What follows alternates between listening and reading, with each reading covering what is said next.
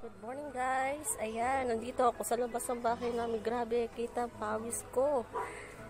Kasi ang ginagawa ko, ayan. Tanim ko. Tanim ko na kalabasa. Kaso, nainis ako dahil hindi hindi siya ano, hindi siya bumubunga. Kaya ayan, oh. Dami, di ba? Ito naman yung aking sitaw. Sitaw ko. Ito, may mali. Ay! Sayang, naputol ko. Naputol. Naputol ko, anak ng patola. Ano? Sitaw. Kaso, sayang. Meron pa man din na bunga. Meron bunga. Ayan. Meron pa ako papakita sa inyo, guys. May papakita ko sa inyo. Meron na dito kasi ako sa mini garden ko. Ayan. Natutuwa lang ako kasi tinapon ko lang tong ano, tinapon ko lang yung buto. Pero hindi ko sukat akalain natutubo siya. Yan. Ay, pahinog na. Pakwan. Pahinog na pala to. Tingnan nyo guys. Oh. Hindi ko sukat akalain tutubo yan. Tatlo siya. Tatlo yan. May patubo pa nga isa yun. Ayan.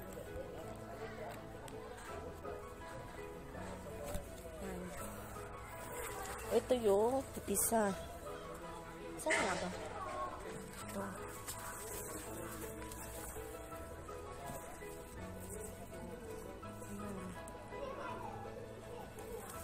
Meron pa, isa nagta nagtatago na yun. Ayan o. Ayan. Ito pa isa. Oh.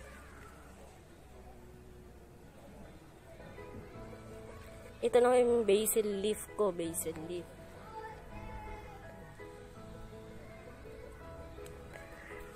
Nandito ako sa mini garden ko. Pinapawisan ako.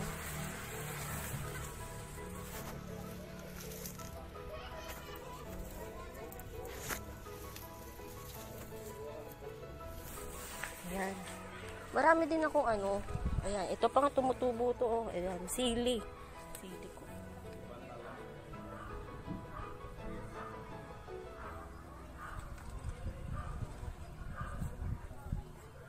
Namumulaklak na.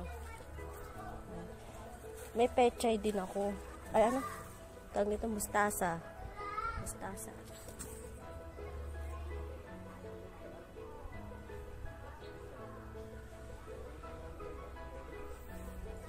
May mga kamatis din. Kasi nandun sa kabila. Ayan. Meron din ako dalandan. Marami ako mga sili din, guys.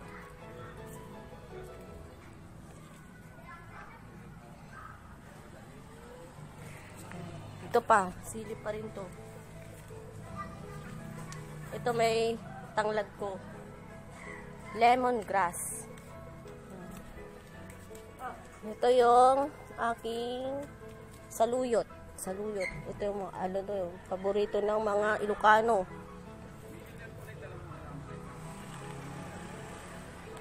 Yan. Dito ako, ayan o. Oh. Mga kapitbahay ko yan nandyan. Nasa subdivision ako. Oh, yaman no. Pero hindi sa akin yung bahay ah. Sabyanan ko. Yan. Dito ko kaya yan.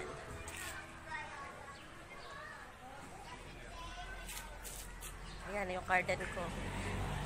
Nasa gilid ng bahay.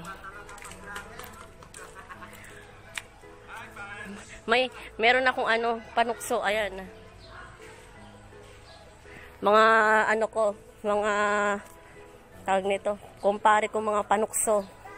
Ito yung aking kamatis.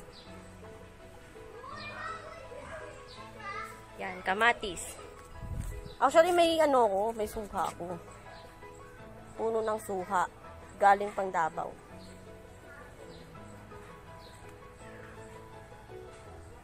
Yan. Mahilig kasi ako manan, mag ano ng tanim. At meron din ako tinatawag na serpentina.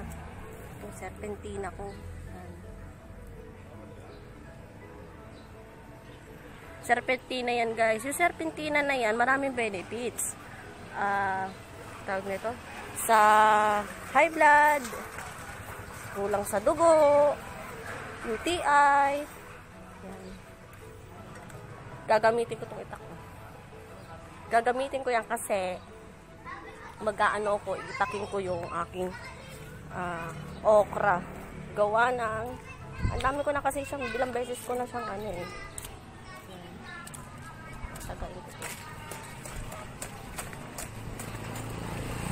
Tatagain ko yan.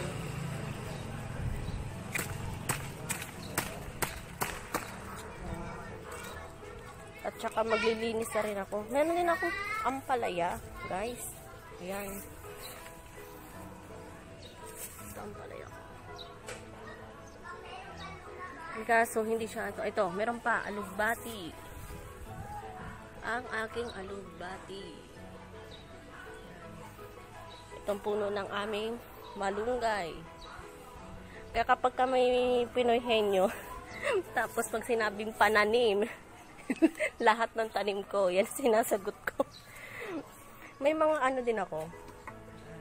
Okra. Ay ano, tawag ito, talong. Yan pa, ano pa lang, pasibol pa lang. Pasibol pa lang.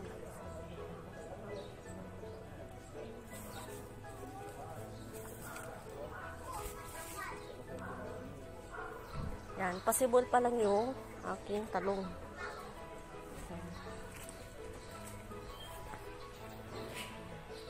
Yan, ito bahay namin.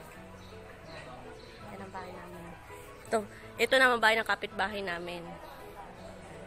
Sa kapitbahay ko naman, pero ano din sa akin, nakakatuwa lang, may talong siya. Kaya nagtanim ako ng talong kasi may talong siya. Ayan ang talong niya. ah.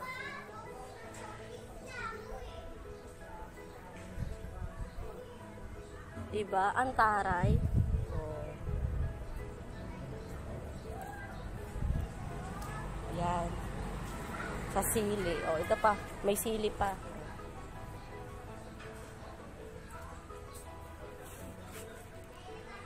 Ito pa. Ito yung ano ko, nakakabisit din. Ang, ang liit pa lang, pahinog na. Yung kamatis ko.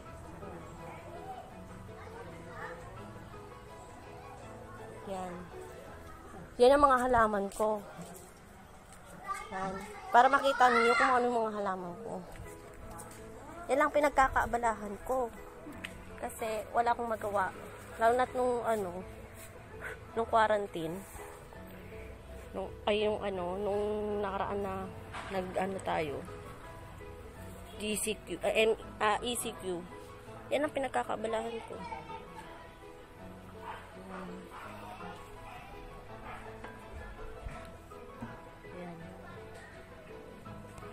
Iikot ko kayo sa aking mga kapitbahay. Ayan. Yan mga kapitbahay ko. Gaganda kaya ng bahay nila. Bahay lang namin ng parang gubat. kasi puro, ano, puro gulay. Kasi ang mahilig din kasi ako sa gulay. Hindi ako kasi, ano na, parang sa karne, hindi ko masyado. Gulay talaga. Kaya yung anak ko, kapag ka ano, gulay din, nasanay na din kumain ng gulay. Gulay lang din siya ng gulay. Tapos ang tawag niya sa mga gulay, pansit o kaya sitaw, pero kahit hindi sitaw, sitaw. May kangkong din ako. Yan. Meron pa nga ako sa tanim niya. Kamote. May dalawang klaseng kamote. Kamoteng puti, tsaka kamoteng pula. Ito yung kamoteng puti.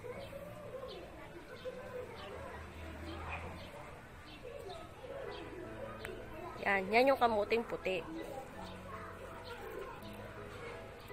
Yan. Meron pa pala, ito yung kasi na, ano, naligaw din dito. Yung ano, ah, pa, ah, pakwan. Ayan. Ito.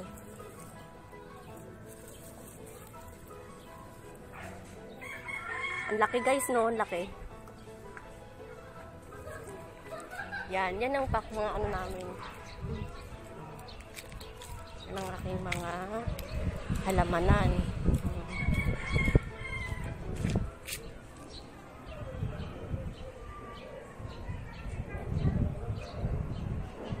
Nakakatuwa lang kasi minsan kapag nag, 'di ba nag ano ka tanim ka ng halaman lalo na kapag kagulay. Tapos yung mag-harvest ka kasi kapag ka nag ano nagbunga yung yung pinaghirapan mo, pag nagbunga, parang ang sarap sa pili. Tsaka at the same time, ano, ah, kapag ka, ano, hindi ka nabibili. Kasi nandiyan na, may halaman ka na. The same, at saka naisi-share ko rin sa ibang mga kapitbahay ko. Kasi, syempre, kesa naman nabibili sila, ay, yan.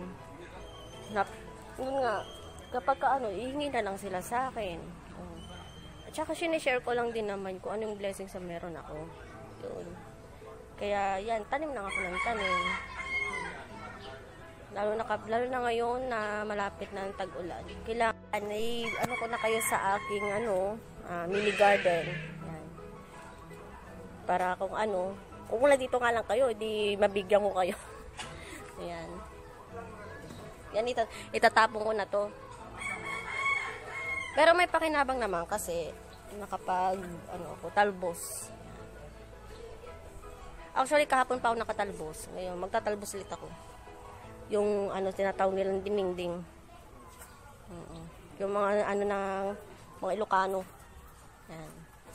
O siya, paano guys? Dito na ako. At ako yung magdadamo pa ng aking kapaligiran. Sobrang daming damo. Dahil hindi ko na minsan na, na ano na asikaso. Yan.